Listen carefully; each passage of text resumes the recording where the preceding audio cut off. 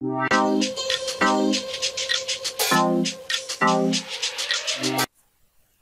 के S application निकलने वाला है? क्या सोचा भाई? कौन सा एप्लीकेशन चुनने वाले हो? एम्बेसी ट्रैक या university track hello guys this is Gaurav and I am back with another video on one of the most important topics and one of the most initial topic I would say because you have to select a track first before applying so so, इस video में मैं वो doubt clear करने की कोशिश करूँगा जो बहुत लोगों के दिमाग में है कि कौन सी ट्रैक चुनी जाए। तो आ, मेरा मोटो इस वीडियो में यही रहेगा कि मैं दोनों ट्रैक्स के प्रोज एंड कॉन्स को या प्रोसेस को कवर कर सकूँ और at the end I give my final word it and then you can decide which track you should go on तो चलिए शुरू करते हैं। तो देखो एप्लीकेशन अभी आने वाला है like in the month of February embassy is gonna announce first then university will start announcing वो हर यूनिवर्सिटी का अपना डेडलाइन होता है so you'll have to check with each university what you can do is that you can apply to embassy also, and then if you get rejected, you can go ahead with the university as well. But it's a hassle process. बहुत ही मेहनत लगता है यार, उसमें पाँच set बनाना पड़ेगा, चार set embassy का और एक सेट यूनिवर्सिटी का। तो क्या करना चाहिए? तो इस पीपीटी या इस प्रेजेंटेशन से मैं वो समझाने की कोशिश करूँगा कि कौन सा ट्रैक बेटर रहता है। बेटर तो यार दोनों ट्रैक ही रहता है, क्योंकि वो तुम्हारे ऊपर डिपेंड करता है कि तुम कैसे देखते हो उसे। तो हम प्रोसेस को समझते हैं कि प्रोसेस क्या है दोनों ट्रैक्स में। तो चलिए शुरू करते हैं। तो अभी आप जी के प्रोसेस को समझने की कोशिश करते हैं। तो जैसा कि आप देख सकते हो यहाँ पे कि एम्बेसी ट्रैक में जो फ़र्स्ट राउंड सिलेक्शन है जब एम्बेसी फ़र्स्ट राउंड सेलेक्ट करती है अपने स्टूडेंट्स को वो नीड को रिकमेंड करती है और फिर नीड सेकेंड स्क्रीनिंग करता है out of those recommended candidates फिर वो रिकमेंडेशन यूनिवर्सिटीज को भेजता है like let's say for India if you apply for embassy track you you send your documents to MHRD, that is Ministry of Education. Then they will shortlist the application. They'll send the application to embassy, and then the embassy will announce certain members to take the interview, and then after that they will recommend the documents to NIIED, and then further evaluation takes place. In university track, you select a university, you directly send your documents to that university, and that's it. Like they, they can take the interview also and then they will recommend the documents to NIIED now the main process is like if you see if you see this whole process the first round is like it's it's common for both the tracks like embassy track you apply to embassy university track you apply to university second round need is gonna be judging your application but in embassy track आपकी जो application है वो जाएगी universities को so let's say आपने apply किया और आपने तीन यूनिवर्सिटी भरी और तीनों में से लाइक like, तीनों को जब जब आपका एप्लीकेशन नीड में सेलेक्ट हो गया तो now the application goes to each universities and then the university will decide which like which university should take you so sometimes what happen is that if you if you give three universities so there is a possibility that all three accepts you or there's a possibility that two of them accepts you or there's a possibility that one of them accepts you a very rare possibility that no one will accept you so this is whole about the university the, the embassy recommendation.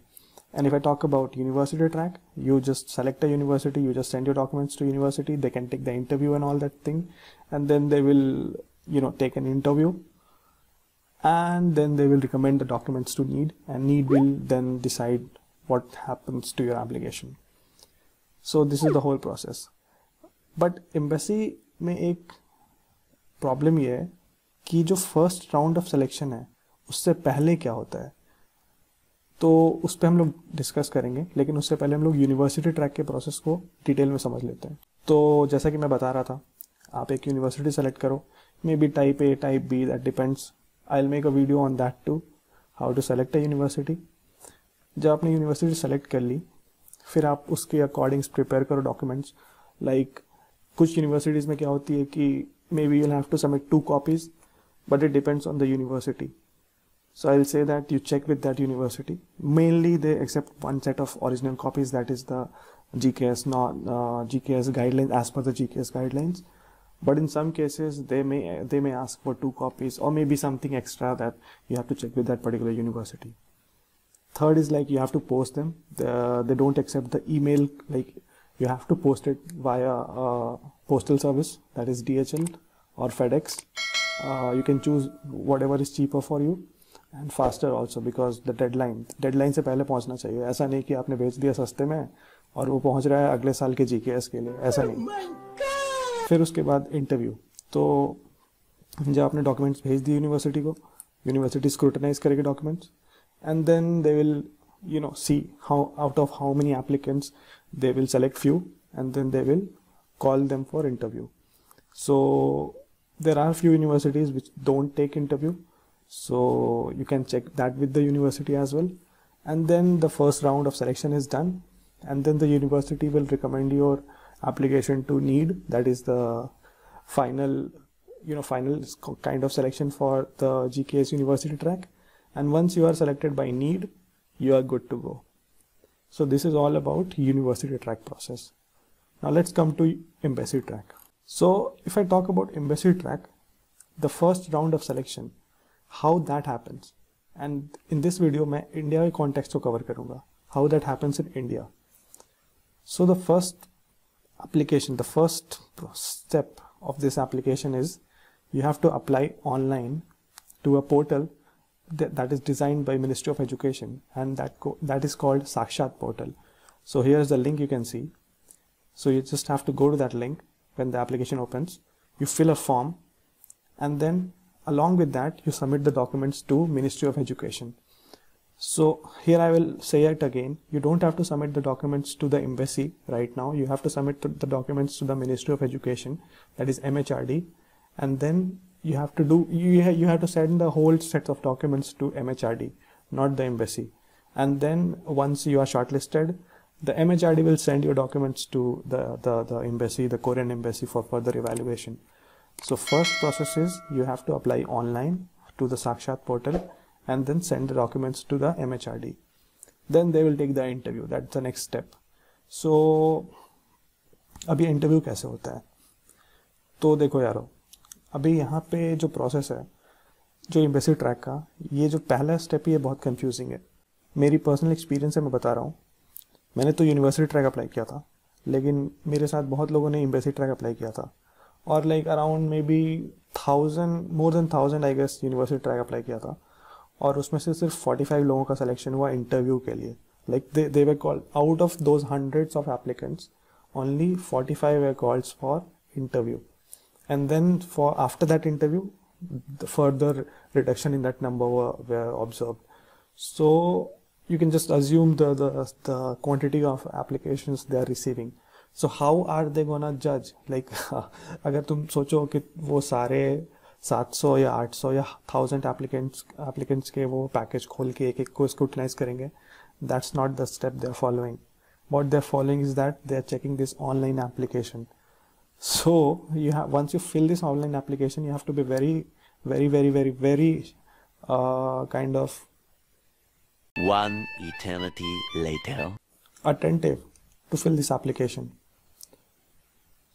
so once you fill this application, uh, there there are certain things they will ask like uh, your percentage in the last university or the college you attended, your 10th results, your 12th results, and few other things also like few uh, short essays like uh, about about your personal statement.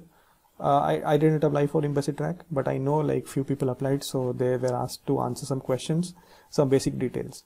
So this online application so out of those like out of those thousand applications uh, people will be classified people will be selected according to this online application. So no matter what you write in your personal statement no matter what you give in your lor if this online application is not filled properly then you are gone. So take this online application very seriously now once this is done you are shortlisted for the interview. Then they will uh, the ministry of education they will send you documents to the south korean embassy and then they will take forward the whole process. So let's see what are extra documents you need for embassy track. So in university track you need just one set of documents. That is you just send the documents to the university that's it. They will scrutinize everything. But in embassy track you need four copies. That is a one original set that was that the same thing for university track and then make three extra copies of it.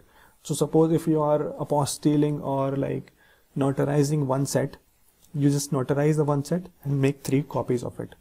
Or maybe uh, see uh, I, I, the, the best process is this one only. You just notarize one set and then make three copies of it. But there are people who are making four copies and notarizing all the copies that's not needed.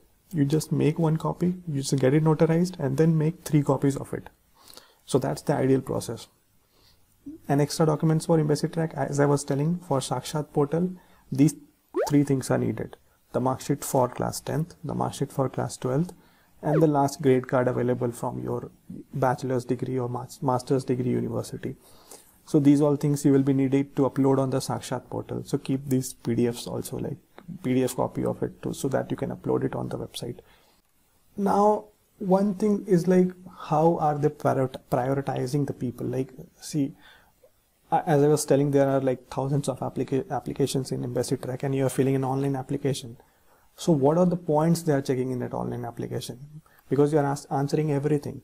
Like but but there will be some things uh, some you know preferential kind of list priority priority kind of thing that they will be checking first of an applicant.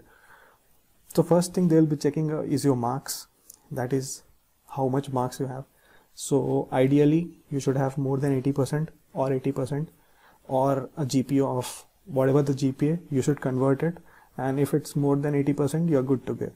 So uh, if you if you ask me an ideal GPA would be 8 or 8.5 and then out of 10 so 8 or 8.5 out of 10 or 80% if you have that you are eligible for the the embassy track. Because they because the first thing they will be noticed is that is there any applicant who is having less than 80% so they will kind they will simply reject the application because because they they want to reject the maximum number of applications so that they will have few limited applications so that they will uh, they can scrutinize it uh, you know very very kind of in a simple way so the first thing in marks.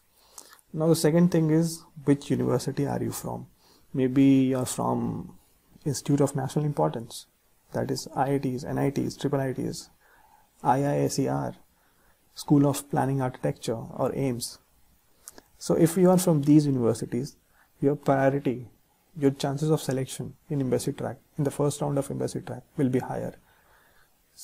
Same goes by the central university same goes by the uh, CFTI, that is Centrally Funded Technical Institute, and the same goes for NAAC accreditation universities. So I'm not saying that this is a priority list order, like first is I, uh, INI and then this is CU and then CFTI or AN. Maybe uh, maybe the NAAC will be preferred first. So it's like it's not a priority kind of uh, list I have made here, but yeah, these four categories will be prioritized first for selecting a uh, for selecting an applicant for further rounds. So suppose if you are from a university which is not a national institute of importance, but it is falling under NAAC A plus or A plus plus, then maybe you will be prioritized first. So this is this is actually a kind of debatable topic because there, there are many instances where people are from private universities or some uh, less known universities and they're still got qualified in embassy track. So this is kind of a debatable topic, but this whole thing is mentioned in the guidelines itself that is released by the embassy. That's why I'm saying that. तो ये already mention होता है उसमें। तो यार अभी ये तुमने देख लिया लाइक एम्बेसी ट्रैक का प्रायोरिटी लिस्ट क्या है? तो पहला तो तुम्हें मार्क्स चाहिए मार्क्स तो चाहिए ही चाहिए। अगर मार्क्स नहीं रहेगा तो फिर कैसे अप्लाई करोगे? और फिर ये university like the the the importance of your previous university तो ये था होल प्रोसेस लाइक अगर मैं बात करूँ university track, की तो just send the application to university they will see out of like how many people you are from and then they will just recommend your application to NIIED. But yeah one more thing. So i'll, I'll just give you one more thing about NIIED. Uh, I forgot to mention in university track once the university sends your documents to NIIED now the real competition begins. So what is this real competition? So uh, मैं समझाता हूँ example से। May be there are ten universities okay and there are ten students from India who sent application to each maybe one sent to one university like ram sent to uh, university a maybe uh, mohan sent to university b and sonu sent to university c. Now all the three universities recommended the the candidates application to NIIED. तो सबके applications क्योंकि university अलग अलग थी तो may be may be university X को उस उस इंडियन की एप्लीकेंट्स बहुत अच्छी लगी होगी application may be university Y को उस इंडियन की एप्लीकेशन बहुत अच्छी लगी होगी। तो ऐसे करके बहुत सारी लाइक जितनी यूनिवर्सिटीज़ हैं तो सबको मे बी इंडियन की एप्लीकेंट अच्छी लगी हो एप्लीकेशन अच्छी लगी होगी तो सबने रिकमेंड कर दिया नीड को। अब अब नीड के पास इतने सारे इंडियंस के एप्लीकेशन आ गए। अरे कहना क्या चाहते हो? अब एम्बेसी में क्या होता है कि जितना कोटा होता है, उतना ही रिकमेंड करती है एम्बेसी लेकिन यूनिवर्सिटी ट्रैक में क्या होता है कि यूनिवर्सिटी तो बहुत सारी है तो अभी सारी यूनिवर्सिटी ने कुछ कुछ इंडियंस की एप्लीकेशन रिकमेंड कर दी। तो अब नीड के पास स्पेसिफिक कोटा है यूनिवर्सिटी ट्रैक का। तो अब नीड वहाँ पे जज करेगा कि किसको एप्लीकेशन देना चाहिए मतलब किसको स्कॉलरशिप मिलना चाहिए और किसको नहीं मिलना चाहिए। तो ये एक काइंड ऑफ़ कॉम्प्लेक्स प्रोसेस है। Like may be you got you may be you will have like chances like you will say that मेरा तो पहला राउंड में हो गया बट अब तो मेरा हो ही जाएगा। This is not the case in university track in embassy track if your first round is clear then like it's ninety nine point nine percent sure that you will be getting the scholarship but in university track you can be sure of that thing because now the real the real scrutinization happens in the need uh, round that is in second round so this this was this, this is the thing I try, I'm trying to explain that like, like there are several universities recommending several applications from one country now the the country has only limited quota so they will only select few students from that particular country so this is the this is in the hands of NIIED तो ये uh, NIIED के भरोसे ram ram karo aur dekho kya hota hai.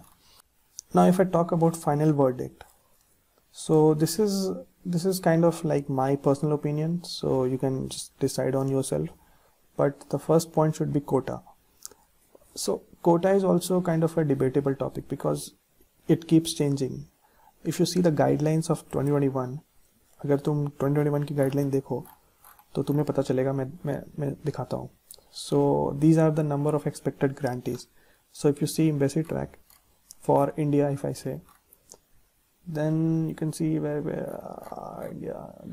So yeah, there are 22 seats for embassy applicants. Okay, but if you see university track, there are 30. So 30 plus 22, that is 52.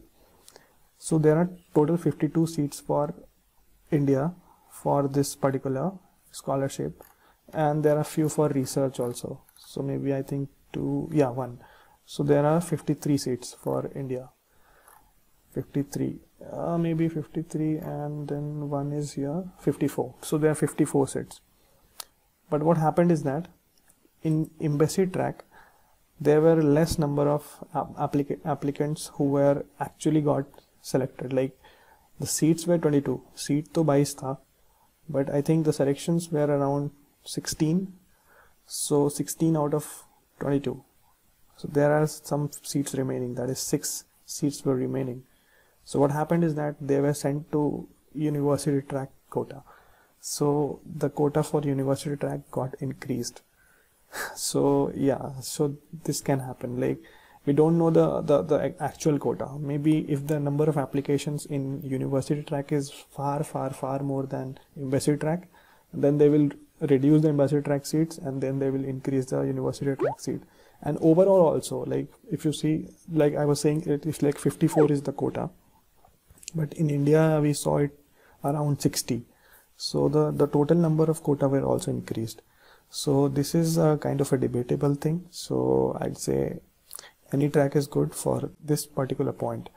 Now if you see marks so marks is important for both the tracks.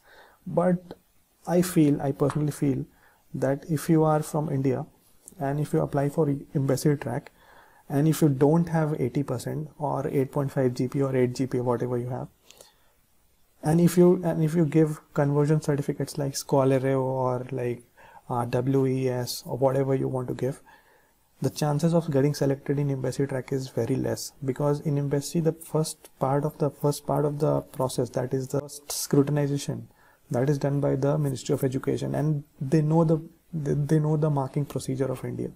So if you try to you know give on four scale and all, they will not uh, accept it. So I'll, I'll recommend you to just write whatever you have. Maybe if you have 78%, maybe if you have 72% also, you just write that exact percentage in your particular uh, online application that is the MHRD application and then let's see what happens maybe be, be, because there are various universities where scoring 80% is very difficult. So just write whatever percentage you, you have and then give a 20 percentile top 20 percentile certificate from your college. So that is one process. Now the second the, now the third thing is that college or university of your last degree. So as i was telling about that priority thing institute of national importance and all that thing so these things matter but i don't know up to what extent because there is there is a mixed number of uh, comments from there various scholars so i'll not go into that. So but but yeah but your past university matters in embassy track now if you are uncertain about the department or university where you want to apply go for embassy track because since you can fill up to three universities so i think if you are very uncertain about one the one particular university then you can just write three universities and whoever selects you that's good for you. So you can go for uh, embassy track if you are uncertain about the department or university. But but if you are very much sure like if you have found a professor or uh, a particular lab where the the research is going on and you want to do that particular research it only. There is no other the there is no other way you want to go to another another university or like you have the you have a dedication for that particular university itself then you just select that university and apply via university track.